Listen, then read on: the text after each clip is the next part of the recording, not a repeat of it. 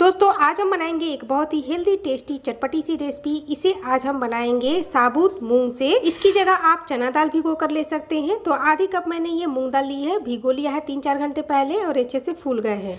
अब हम गैस पर पैन रखेंगे और उसमें एक बड़ा चम्मच सरसों का तेल डालेंगे। तेल गर्म हो जाने पर हम इसमें आधा चम्मच जीरा डालेंगे और आधा चम्मच सौंफ। जीरा और सौंफ चटक जाने पर हम इसमें डाल रहे हैं चार हरी मिर्च। इसे मैंने तोड़ लिया है और पाँच है लहसुन की कलियाँ। इसके साथ ही हम डाल देंगे एक बड़े साइज़ का प्याज। इसे मैंने मोटा मोटा काट लिया है। छः सात इसमें मैं करी पत्ते डाल रही हूँ। इन्हें डालने के बाद हम इन्हें भूनेंगे। तो बहुत ज़्यादा हमें ब्राउन नहीं करना है, बस हल्का ही भूनना है, जिससे प्याज और लहसुन मिर्च का जो फ्लेवर है, कच्चापन है, वो निकल जाए।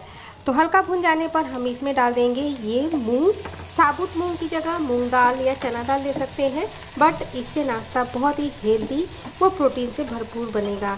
इसे हम डालकर चला लेंगे थोड़ी देर और इसके बाद हम इसमें डालेंगे एक मोटा मोटा कटा हुआ टमाटर।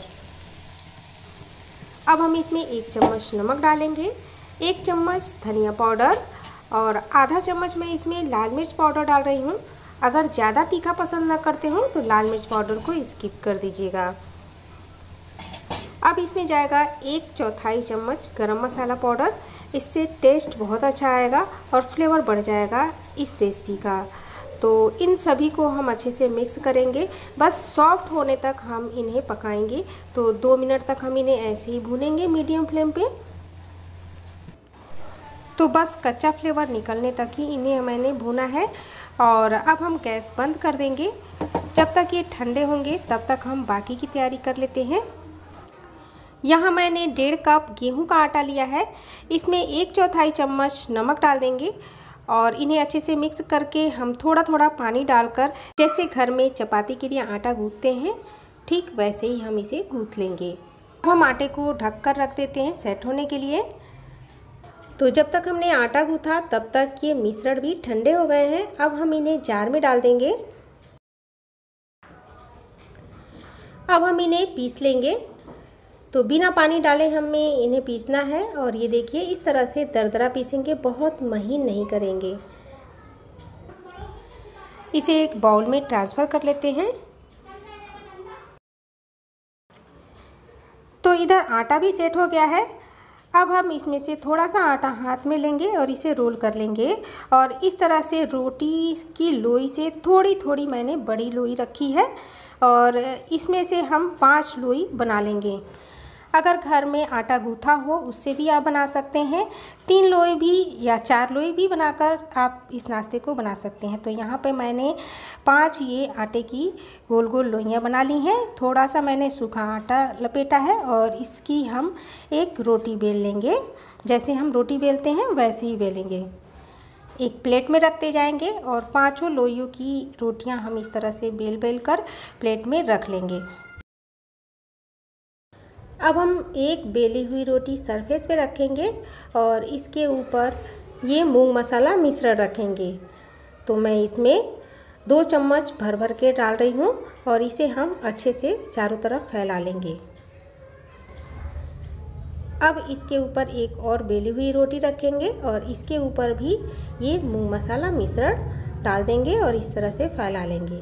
तो एक के ऊपर एक इस तरह से परत दर परत हम पाँचों रोटी इस तरह से रख कर और इस पर ये मसाला डालकर और फैला लेंगे चारों तरफ़ अच्छे से। तो अंत में हम इस बेली हुई रोटी को इसके ऊपर रखेंगे और दोनों तरफ़ से फोल्ड कर लेंगे, हाथ से दबा लेंगे और थोड़ा इसे चपटा करके ऐसे लंबा कर लेंगे। तो देखिए, इस तरह से मैंने इसे एक पॉकेट की तरह बना लिया है। अब हम एक जाली वाला बर्तन लेंगे, उसमें ऑयल लगा लेंगे। इसके ऊपर हम पॉकेट रखेंगे और इसके ऊपर भी थोड़ा सा हम ऑयल ग्रीस कर लेंगे। अब चलते हैं गैस की तरफ़। तो गैस पर मैंने पानी रखा है एक गिलास गर्म होने के लिए एक बड़े बर्तन में। इसके ऊपर ये छन्नी रख देंगे और इसे ढक कर 12 मिनट तक पकाएँगे। 12 मिनट हो गए हैं, गैस बंद करेंगे और इन्हें हम निकाल कर ठंडा होने के लिए रख देंगे। तो ये अच्छे से ठंडा हो गया है। अब हम इसे एक प्लेट में निकाल लेते हैं और इसे काट कर दिखाते हैं। तो हम बीच से इसे काट रहे हैं। अंदर तक अच्छे से पक गए हैं। अब हम इन्हें छोटा छोटा काट लेंगे। इस तरह से इन्हें फ्राई करने के लिए मैंने एक पैन में एक चम्मच ऑयल डाला है। इन्हें गर्म होने देंगे और गर्म होने के बाद हम इसमें एक चम्मच तिल डालेंगे। तिल की जगह आप राई का भी इस्तेमाल कर सकते हैं और आधा चम्मच इसमें लाल मिर्च पाउडर डालकर और इसे हम इस तरह से फ्राई करेंगे।